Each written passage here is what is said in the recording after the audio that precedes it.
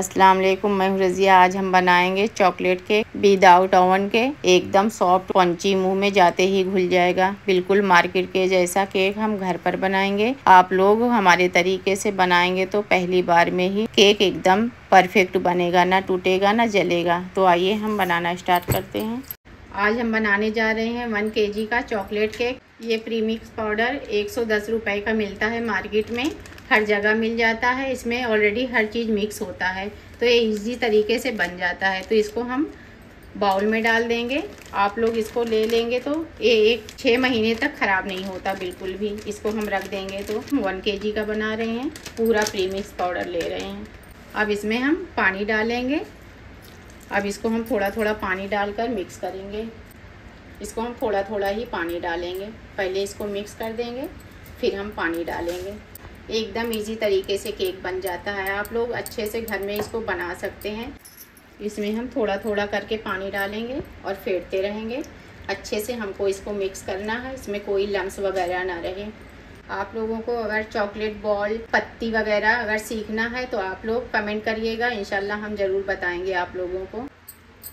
ये देखिए, इसको हम अच्छे से मिक्स कर लिए हैं। मिक्स हो गया है। तीन से चार मिनट लगा है इसको मिक्स करने में और इसकी कंसिस्टेंसी देखिए, आप लोग देख सकते हैं। इस तरीके की होनी चाहिए। एकदम परफेक्ट हमारा बैटर बना है। अब इसमें हम बटर ऐड करेंगे। ये देखिए, हम बटर पिघला कर रख दिए थे। वन फोर्थ कप है, इसको हम इसमें ऐड कर देंगे। और अच्छे से फिर हम इसको मिक्स कर देंगे। एक मिनट के लिए हम और मिक्स करेंगे, अच्छे से बटर इसमें मिक्स हो जाए। ये देखिए, इसको डालने से अच्छे से शाइन आ जाएगी। अब अच्छे से ये मिक्स हो गया है। ये देखिए केक का बैटर हमारा रेडी हो गया है। इसकी कंसिस्टेंसी देखिए, इस तरीके की होनी चाहिए।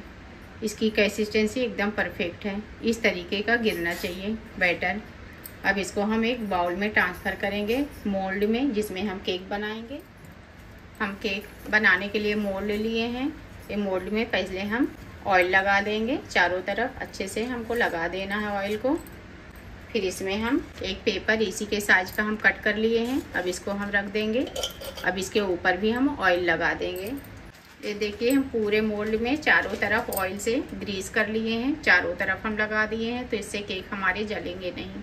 तो इसमें हम ट्रांसफ़र कर देंगे। अब बैटर हम इसी मोल्ड में ट्रांसफ़र कर देंगे। ये देखिए इसकी कंसिस्टेंसी किस तरीके की है। इस तरीके का गिरना चाहिए। अब इसको हम ऐसे टैप टैप कर लेंगे। इससे अच्छे से हमारा बैटर अंदर तक चला जाएगा। हम बिना ओवन का बता रहे हैं बनाना, हम इसको कुकर में बनाएँगे। ये कुकर में बहुत जल्दी बन जाएगा केक हमारा। एकदम सॉफ्ट और स्पंजी हमारा केक बनेगा। कुकर को हम रख दिए थे, दस मिनट हो गया है प्री हीट किए हैं इसको हम। अब इसको हम प्लेट को ऐसे उल्टी रख देंगे।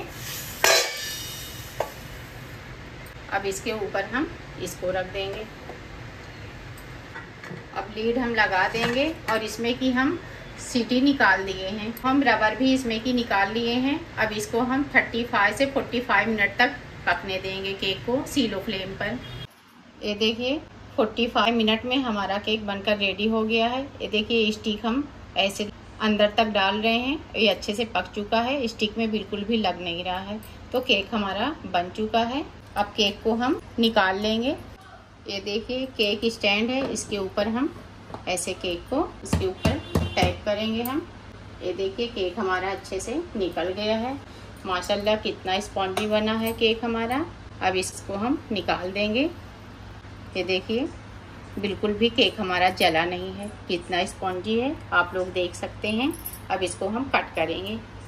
अब केक को हम कट कर लेंगे। बिस्मिल्लाहिर्रहमानिर्रहीम। बस ऐसे हम केक को घुमाते हुए कट कर लेंगे। एकदम इजी तरीके से कट जाएगा। प्रीमिक्स पाउडर हम एक किलो लिए थे ना तो एक किलो में ये डेढ़ के जी से भी ज़्यादा बनेगा केक। क्रीम वगैरह जब हम ऐड करेंगे इसमें तो ये डेढ़ के से भी ज़्यादा बन जाएगा केक इसको हम घुमाते हुए कट कर लिए, ये कट हो गया है. अब इसको हम निकाल लेंगे एक स्लाइस को. ये देखिए, माशाल्लाह कितना अच्छा कट हुआ है और जालियाँ देखो, इसमें कितनी अच्छी बनी है. ये परफेक्ट हमारा डो बनकर रेडी हुआ है. अब इसको हम साइड में रख देंगे. एक स्लाइस को कट कर लिए हैं. अब दूसरी स्लाइस हम ऐसे घुमाते हुए कट कर लेंगे। इसी तरीके से हम चार स्लाइस कट करेंगे। आप लोगों को कट करके हम दिखा रहे हैं। ये देखिए, दूसरी स्लाइस भी हमारी कट हो गई है। एकदम इजी तरीके से हम ऐसे कट कर लेंगे और केक को हम अच्छे से ठंडा करेंगे। अभी ये थोड़ा गर्म है, इसमें से भाप भी निकल रही है। अभी हम इसको ठंडा करेंगे। बस ऐसे ही स्लाइस को हम कट कर लेंगे। चार स्लाइस हमारी कट होगी इसमें। ये देखिए, केक की स्लाइस को हम कट कर लिए हैं, ये चार स्लाइस कट कर लिए हैं। माशाल्लाह, कितनी अच्छी कट हुई है।